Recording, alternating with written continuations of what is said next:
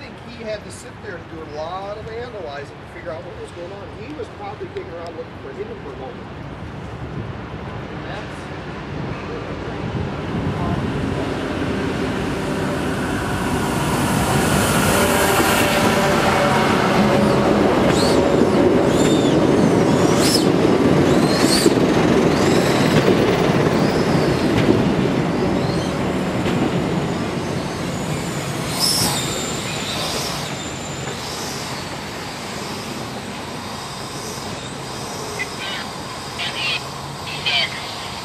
I'm